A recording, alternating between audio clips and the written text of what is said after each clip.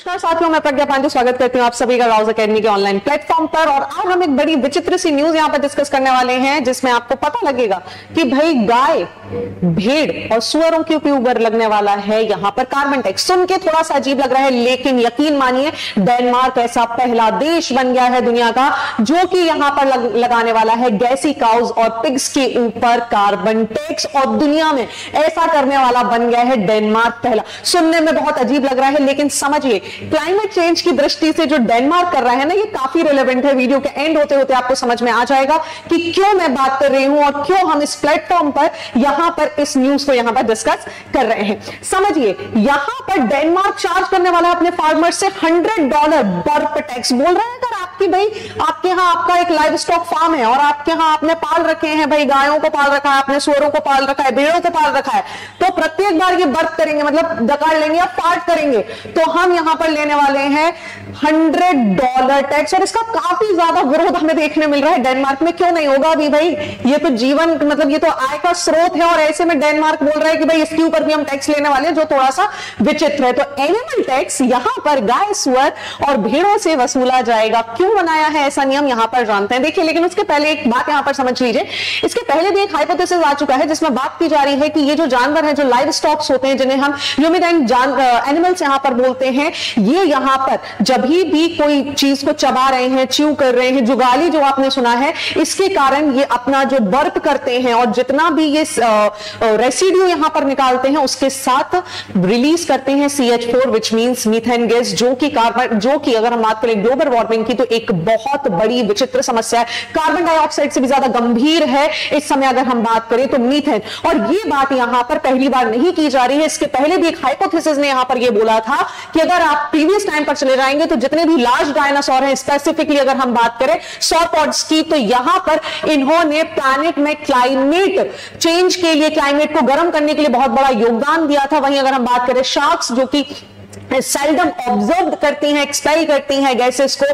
Cows like sheep and goats ये सभी र्यूमिनान family से बिलोंग करते हैं, जिनके चार स्टमक होते हैं, एक यूनिक डाइजेस्टिव सिस्टम होता है और इसी की वजह से आप बात करें तो ये मीथेन प्रोड्यूस करते हैं और छोटी मोटी मात्रा में नहीं, बहुत ही भारी संख्या में यहाँ पर मीथेन को रिलीज़ किया जाता है। और इसी के कारण डेनमार्क ने डिसाइड किया है कि वो अपने जितने भी carbon dioxide greenhouse gases को कम करने के लिए, जो यहाँ पर काउज है शीप्स और पिग्स हैं, यहाँ पर 2030 से आप देखेंगे तो ये लगाने वाला है कार्बन टैक्स जो कि मेजर सोर्स है मीथेन इमिशन का। ये एम यहाँ पर क्यों किया गया है? क्योंकि डेनमार्क जिसकी पूरी की पूरी अगर आप इकोनॉमी की बात करें तो ये पॉर्क इंडस्ट्री और यहाँ पर काउ इंडस्ट्री के ऊपर डिपेंडेंट है। यहाँ पर बहुत भारी मात्रा में आप देखेंगे तो गाय, भेड़ और सुअरों का पालन किया जाता है। ऐसे में एक बहुत बड़ा कॉन्ट्रीब्यूशन भी इनके कारण यहाँ पर हो रहा है। डेनमार्क ने ये चीज़ यहाँ पर डेनिश ने डिसाइड की है कि ग्रीन हाउस गैस इमिशन जो है, उसको सत्तर प्रतिशत तक कम करना है। 1990 के लेवल तक बाय 2030 और आप सभी को याद भी होगा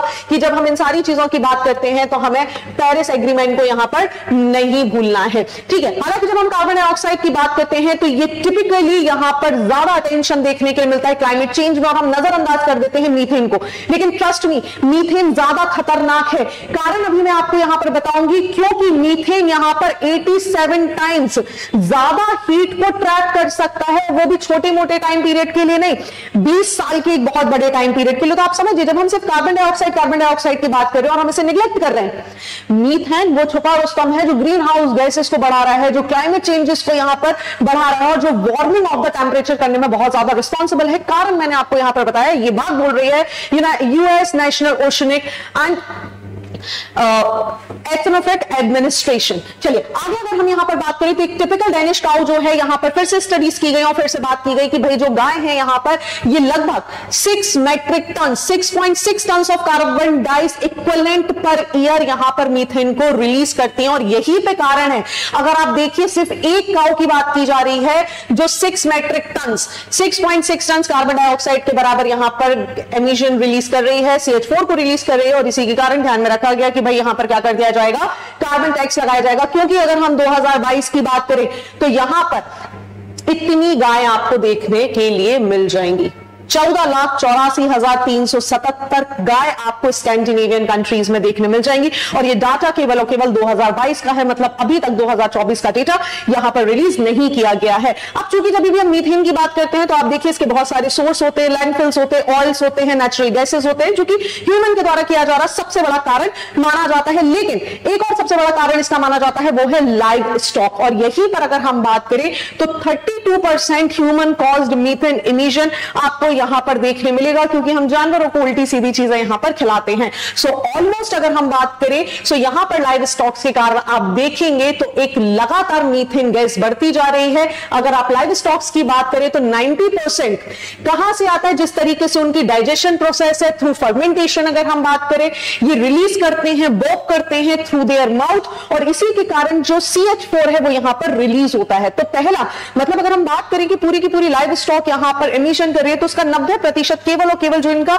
डाइजेस्ट करने का तरीका है, जो फेमेंटेशन का इनका प्रोसेस है, जो इनके पेट में चार चैम्बर्स आपको देखने मिलते हैं, उसके थ्रू यहाँ पर इनको अलाउ कर दिया जाता है कि वो सारी चीज़ें भी डाइजेस्ट कर सकते हैं जो बाकी जानवर नहीं करते और उसके कारण ये बर्थ करते हैं, जिसके कारण सी रिलीज़ होता है। और इसमें भी अगर हम बात करें तो गाय यहाँ पर ब्लीच्ड मीथेन रिलीज़ करती है, जो थोड़ा सा ज़्यादा खतरनाक है। And most of the remaining ten percent livestock जो है, ये हमें मैन्यूर पॉइंट से आता है, जहाँ पर पिग्स और कैटल ऑपरेशन किए जाते हैं और इसी के कारण डेनमार्क बन जाएगा, विश्व की पहली कंट्री जो कि कार्बन डाइट सीओ टू टैक्स लगाने वाला है एग्रीकल्चर पर। ठीक है, हम बात कर रहे हैं लाइव स्टॉक्स पर। ऐसा न्यूजीलैंड भी ऐसा बिल यहाँ पर पास कर चुका है, जो कि 2025 से यहाँ पर इफ़ेक्ट में होगा। ना क्वेश्चन कम कि यहाँ पर कितना टैक्स लगेगा? तो देखिए 2030 से अगर हम बात करें तो प्रति टन 1.1 टन के हिसाब से यहाँ पर 300 टन जो कि यहाँ की करेंसी है, उसकी हम बात कर रहे हैं। जिसका डॉलर में बात करें तो 43 डॉलर होगा।